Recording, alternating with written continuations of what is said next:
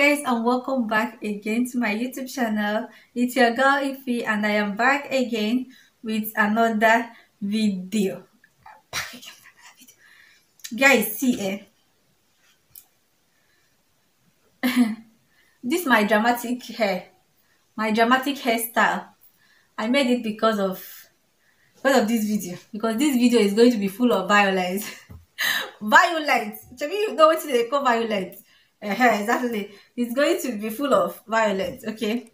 Okay but on a serious note guys this video is going to be everything you are going to see in this video everything you are going to hear in this video. It's going to be my personal opinion on your favorite youtubers okay? It has nothing to do with their personality in real life okay?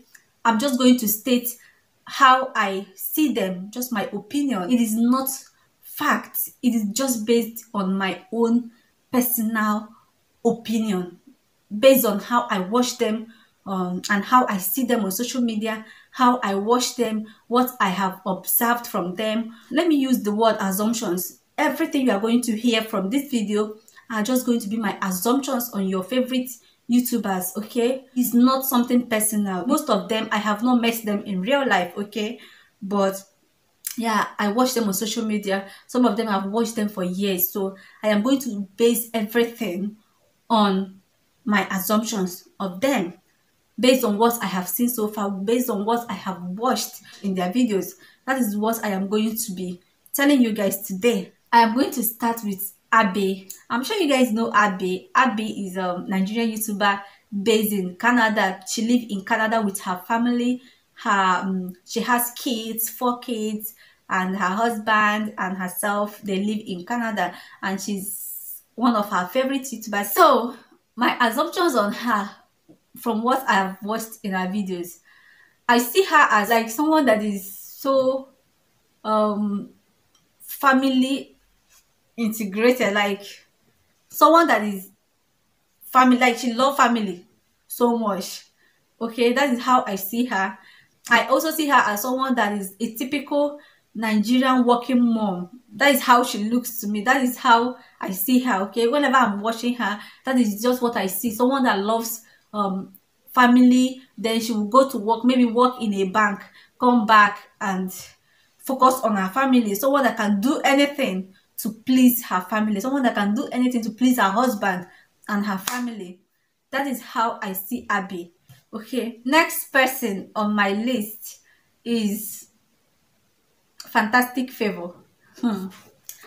Most of you guys know Fantastic Favour, but hmm, when I discovered Fantastic Favour newly, I used to think that she was this kind of maybe she was um, a Deeper Life member in Nigeria.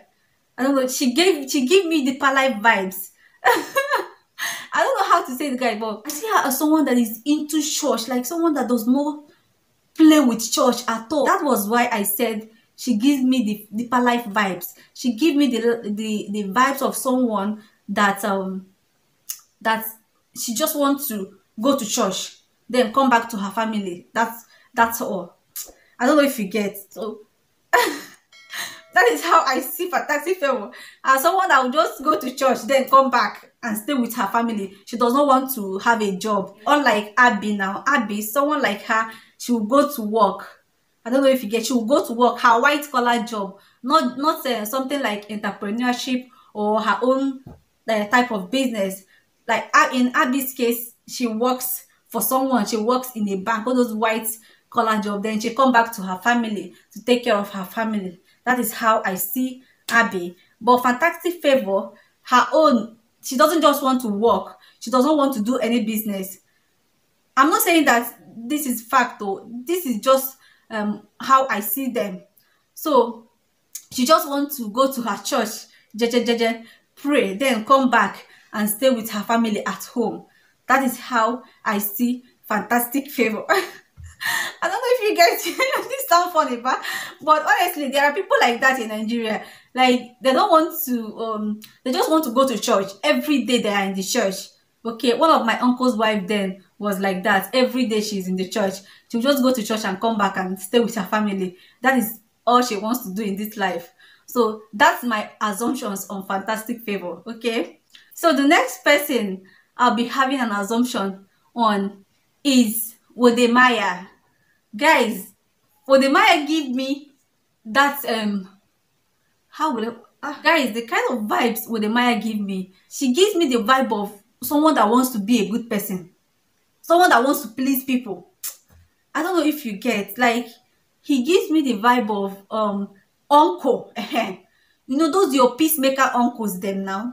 the uncle that will just be on the side waiting for maybe if you have um uh, issues with your sister or if there is uh, anything that you are not doing right the uncle will now come bia hey emeka come why is this thing not like this this is how you are supposed to do it oh yeah do this one like this do this one like this do this one like this. Those kind of african typical african uncle. Those uncles that all they want in their lives is for everything everybody to do the right thing. Oh yeah do this one. You do this one. You do this one. Yeah she'll just and they don't care. Even if you're having issues with your sister your sibling or anybody at all when your uncle comes your uncle does not want to hear who is wrong and who is right what he wants to do is to make to make you guys to uh make you guys work together again i don't know if you get so that's the vibes i get from Wedema. that's the vibes he gives me each time i i watch him that's that's just what I assume. He's someone that does not want, he's someone that wants everybody to be at peace. Like, you must be at peace by fire, by force. I don't know if you get. So, that is um, my assumptions on him. And um, the next person I am going to be assuming on is Nelo Okeke. Omo, do you know the vibes I get from Nelo? do you know the vibes I get from Nelo? Nelo give me the vibes of Onyowa. I don't know if you get I don't know if you get what I mean by Onyowa. Onyowa means um Onyowa is in Igbo. It's just a slang in Igbo, but what it means is someone that likes to chop life, like chop life gang. Uh, that's the word. Chop life gang. That's how I see Nelo. Whenever I see her, what goes through my mind is okay, this person is someone that likes to to chop life, enjoy herself. She's unbothered about work or unbothered about uh, about. She just wants to relax and be taken care of. I don't know if you get me. So that's my assumptions on Nelo. Make una not kill me. Oh. I know these people are working for. Make una not kill me. I beg. It's not that serious. But honestly, I'm just telling you guys that I know that they are uh, they are worth more than what they show us on on um on YouTube. Okay, but this is just what goes in my mind whenever i see nelo i see her as a chop life guy she just wants to party have her parties chop life travel have fun enjoy herself. She doesn't want to know who is beefing her. She doesn't want to know who is uh, who is angry with her. I don't know if you get. So she just wants to enjoy her life. That is the vibe i get from nelo each time i watch her. Okay she gives me that onion what kind of life. That shop life gang. That's the uh, vibe i get from nelo the next person i am going to be assuming on is auntie chinyere i'm not sure there is anyone on youtube that does not know auntie flo chinyere. Auntie flo everybody know her okay? You guys you know her okay? So when i see her she gives me the rich auntie the rich auntie vibe. That kind of rich auntie that that um that is unmarried. Those unmarried rich auntie they'll just stay on their own. What they want to do is they just want to come and spoil their um their nieces and their nephews. That's the kind of vibe i get from teacher. She just work make her money then come and spoil her nieces her nephews and her nieces. Okay? That is the vibe i get from auntie Chinyere. like that's the vibe i get from her whenever i see her. She does not have her own kids and she does not want to have but she wants to spoil um, her sister kids with good things, with money, with goodies, with she just wants to spoil you, okay, and live her life. That is the vibe I get from Auntie Flo so the next person I will be assuming on is banter with NJ. Guys, banter with NJ. See, let me tell you guys. The first day I got to know the girl, through Nelo. I got her, I got to know her from Nelo. So when I got to know her, I started watching her. She gave me this baby of the house kind of vibe. Like you know those children that they don't use love spoil now and they don't show her love they don't use love. As in the love is too much on her. So she can't dey do she no wan wahala. She just be mommy's pet mommy and daddy's pet kind of person. That is how i see banter with angel. She speaks so softly like a spoiled child. Yeah those ones that their mama and papa get money well well but they are using the money to take care of only her. I don't know if you get me like nobody will come close to her. If you touch her eh her parents go deal with you. Like her parents favorite that is how i see banter with NJ like i see her as um, pet of the house. I see her as the baby of the house. I see her as her parents favorite child. That is how i see her okay? And she's so soft. I see her as this kind of soft person that if you um if you shout at herself she will start crying. You guys you guys please don't no don't kill me boy. Honestly that is how i see banter with NJ and i see her as someone that is too soft okay? That is how i see her. The last but not the least person i'll be assuming on is Dyna Ekwueme. you guys you also know Dyna now. Dyna is is a big youtuber okay? He's a big youtuber just like the people i i talked about earlier so each time I think of Dyna, I see Dyna as someone that is physically strong, that she can even use her hand to break a metal.